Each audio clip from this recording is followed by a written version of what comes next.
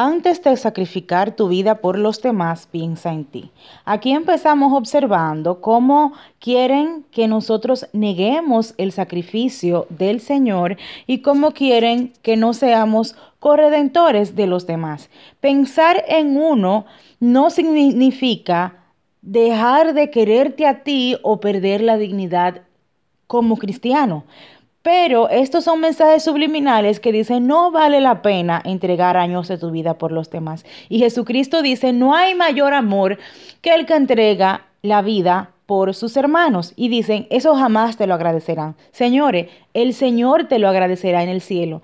Como cuando le dijo la Virgen a Santa Bernardita. No busques deleitarte en la tierra, porque tu paga está en el cielo. Y asimismo se lo recuerda Jesucristo a Santa Catalina de Siena. Te daré dos coronas, una de espinas y otra de oro. La, corona de espinas es en la tierra, porque tú debes sacrificarte para que los demás puedan obtener la salvación. Y siguen diciendo, solo eres utilizada e irrespetada, lucha por ti. Esto es una frase feminista para que las mujeres odien los hombres.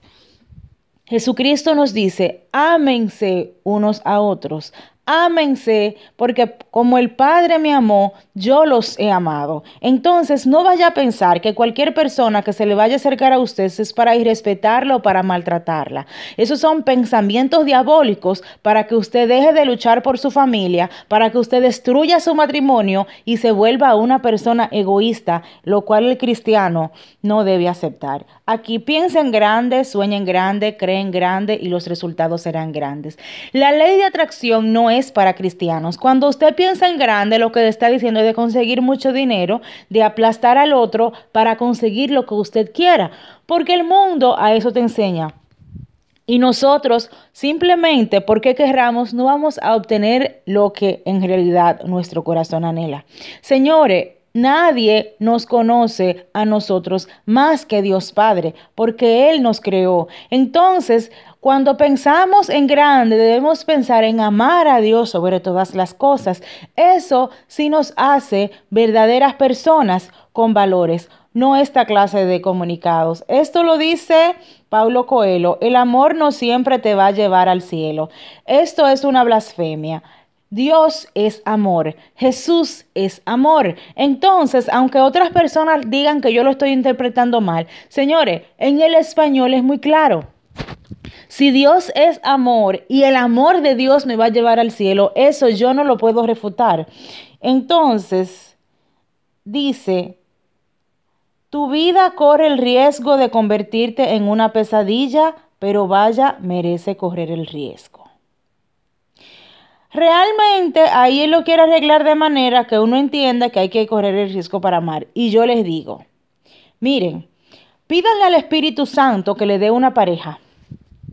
Porque muchos de nosotros queremos simplemente al otro buscarlo por pasión. Y muchas parejas tienen problemas porque solamente le miran lo positivo y no se dan cuenta de las señales. El amor que Jesucristo nos da nos da dignidad a nosotros como personas.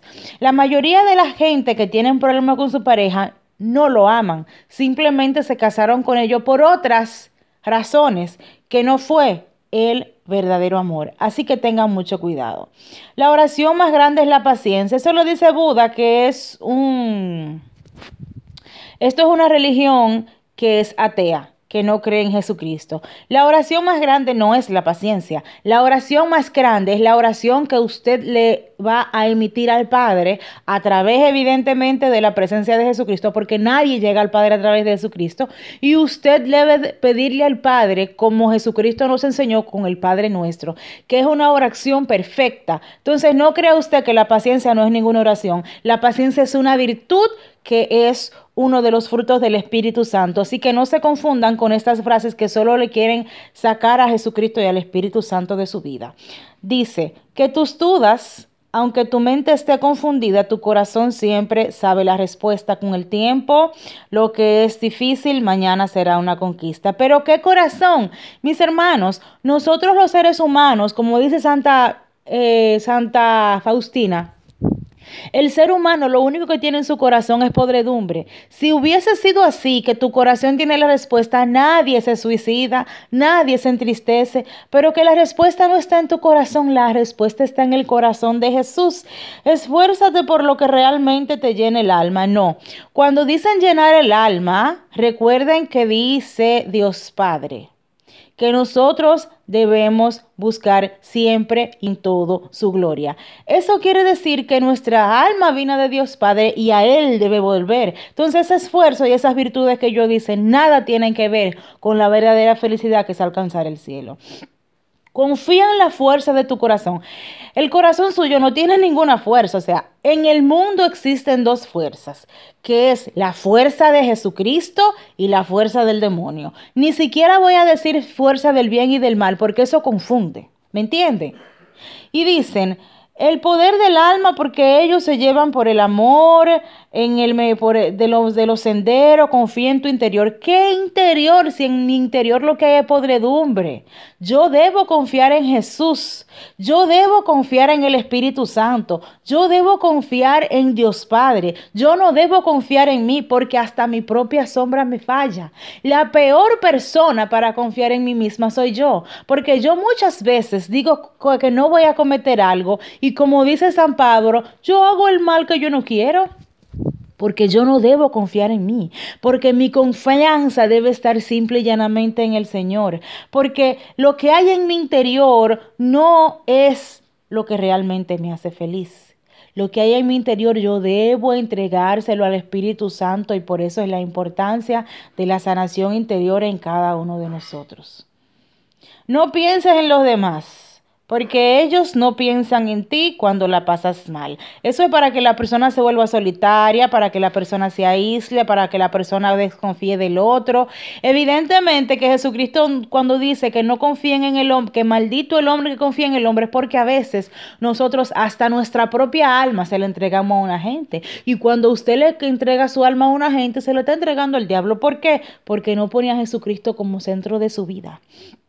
Entonces hay que pensar en los demás, porque el, por eso Jesucristo nos puso a los mandamientos, los abrevió en dos, que son amar a Dios sobre todas las cosas y amar al prójimo como a nosotros mismos. Y estos mensajes subliminales es para que los jóvenes entren en depresión y crean en falsas promesas que les da la nueva era que los llevan al infierno.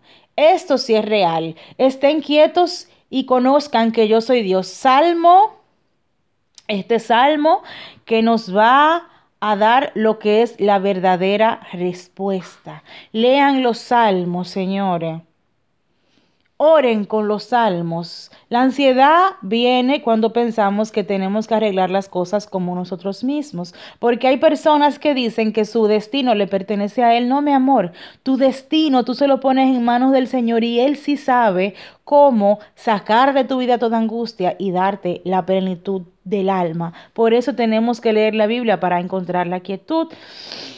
En el Salmo 91, versículo 2 dice, diré al Señor, refugio mío, fortaleza mía, mi Dios, en ti confío. Apréndanse esta frase. Repitan en cada momento de, de duda, mi Dios, en ti confío. Repitan en cada momento de desesperanza, Jesús, en ti confío. Cada vez que a usted se siente que se le están yendo las fuerzas, diga, mi Dios, en ti confío. Porque nosotros debemos poner nuestra mirada en el cielo, porque Dios Padre siempre querrá para nosotros lo mejor y Él es quien nos puede dar la verdadera integridad tanto del cuerpo como del alma.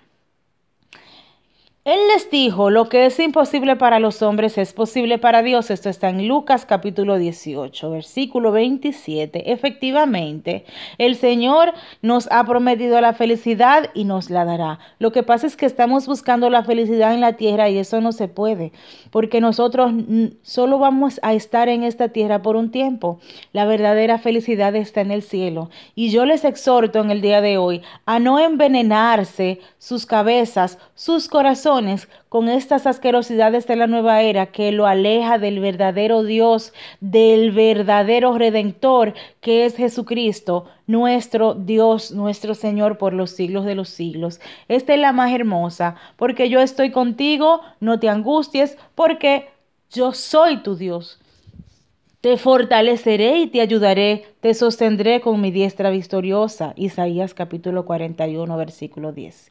Si las personas, en vez de leer libros de la nueva era, leyeran a la Biblia, entendieran que realmente todo en tu vida pasa por algo y que todo lo que suceda en tu vida debe ser simple y llanamente para la gloria de Dios y para salvación de las almas. Que el Señor los bendiga y los guarde.